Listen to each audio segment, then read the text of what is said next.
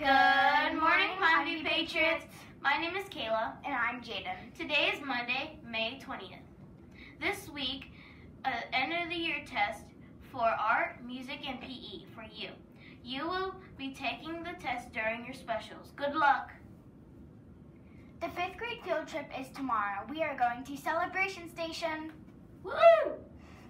Here's Senora Popes with some words and Words of wisdom.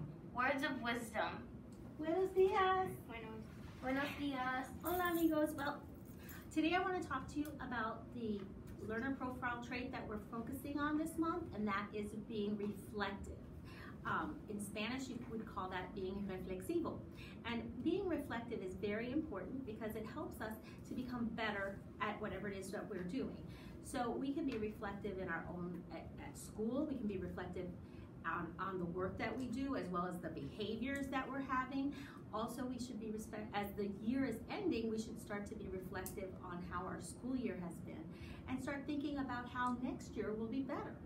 Um, so please, if you have time, whenever you can, think about being reflective, reflexivo. Can you say reflexivo? Lex Vestido. Reflexivo. you guys try, okay? See you guys later. Thanks for joining us. Please stand for the Pledge of Allegiance.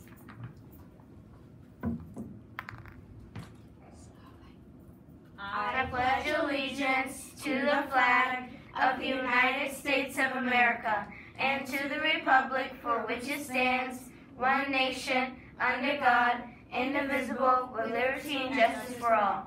Thanks for watching, and remember, success and nothing less. Only seven more school days left.